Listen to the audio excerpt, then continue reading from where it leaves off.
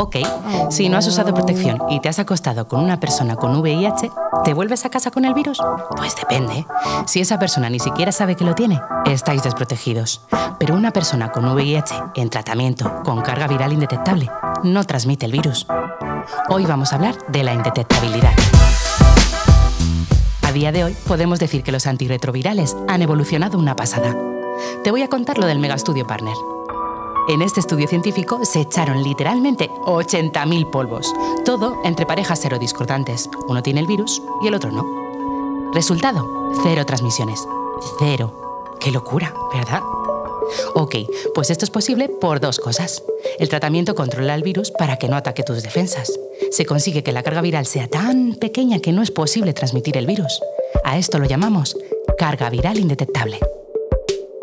Hoy en día, los tratamientos controlan el virus y evitan el desarrollo del síndrome de inmunodeficiencia adquirida, el SIDA.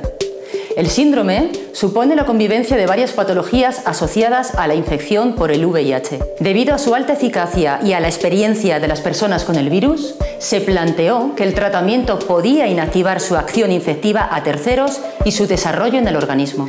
Personas con VIH con pareja serodiscordante, es decir, que no tenían VIH, experimentaban la no transmisión del virus a pesar de tener relaciones sexuales e incluso embarazos. Pero, ¿cómo se llega a ser indetectable? Verás, si tienes el virus, tu especialista te dará acceso al tratamiento antirretroviral.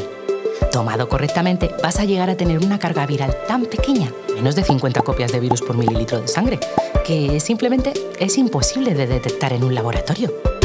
No se puede encontrar el VIH en tu sangre. Al tener una carga viral controlada por los tratamientos, el virus no ataca las defensas de la persona con VIH, que esa carga viral sea indetectable evita también la transmisión a otras. Sigues teniéndolo, pero se ha frenado totalmente. No avanza dentro de tu cuerpo y esto significa calidad de vida óptima. Además, queda tan poca cantidad del virus que no puede consolidar una nueva infección en otra persona. No se lo puedes pasar a nadie. Aún muchas personas con VIH desconocen lo que significa exactamente que indetectable es igual a intransmisible. Ser indetectable no solo ayuda a la persona con VIH a controlar su infección y evitar la transmisión, sino que también es una estrategia de no discriminación y empoderamiento de las personas con VIH. Es esencial que llevemos este mensaje lo más lejos posible. Para mí, es importante que sepas qué significa ser indetectable porque la próxima vez que te encuentres con una persona con VIH en tratamiento, sabrás el esfuerzo que está haciendo por controlar su situación para hacer que el virus sea intransmisible y acabar de una vez por todas con esta pandemia.